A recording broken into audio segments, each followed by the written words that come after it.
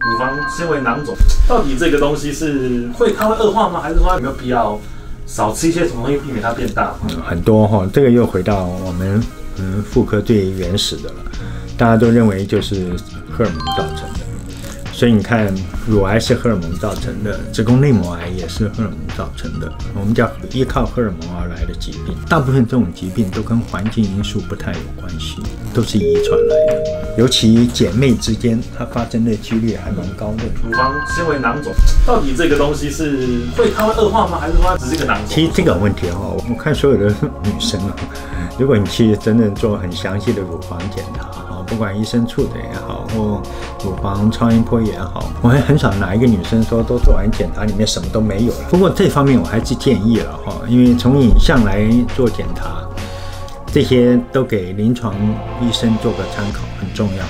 如果他建议你追踪哦，可能你就要稍微留意一下，定时追踪。如果建议你做一个，比方说那种很细针的一个穿刺哦。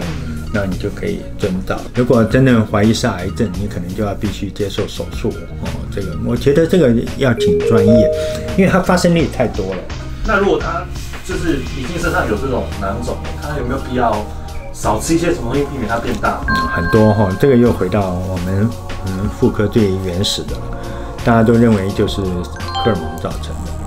所以你看，乳癌是荷尔蒙造成的，子宫内膜癌也是荷尔蒙造成的。我们叫依靠荷尔蒙而来的疾病，大部分这种疾病都跟环境因素不太有关系，都是遗传来的。尤其姐妹之间，它发生的几率还蛮高的。比方说，她们家里面有姐妹哦，我常常会碰到她们家四个姐妹，四四个姐妹全全部都有这个问题，四个姐妹。所以你就想，这个疾病哦，就是回到我们最先开始讲的，它是跟环境。环境包括饮食嘛，还有环境荷尔蒙。大家这个环境荷尔蒙这个议题也吵得蛮厉害，什么化妆品啊，什么有没有环境，到今天没办法证实。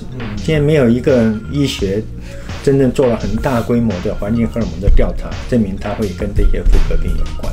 你很难去量化那些环境荷尔蒙对你的影响。所以古时候这些病少，嗯，病少的理由是因为他们生小孩生得多。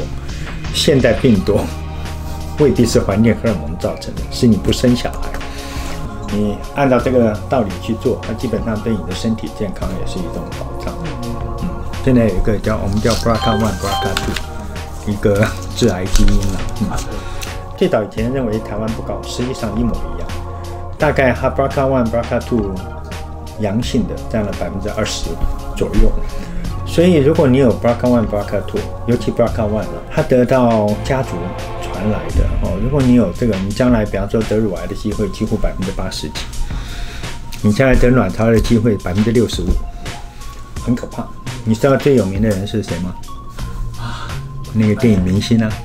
裘丽，安吉丽裘丽是不是？是他，嗯，最有名的。所以这个问题曾经上了 Times，而且是越早缺越好。他们说你到了四十几岁缺，它预防的效果就变差了。所以，所以你看，Julie 她好像很早就去了，很早，很年轻哦。所以，尤其在对一个超级电影明星再来讲，你看她有多大的勇气。可是，那你要，你也要回过头来看这个议题有多重要。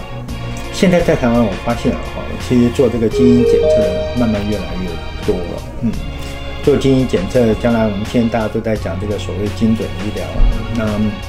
这又是一个很大的议题了，嗯，但是我觉得慢慢，如果你有家族史，哦，可能要考虑，嗯。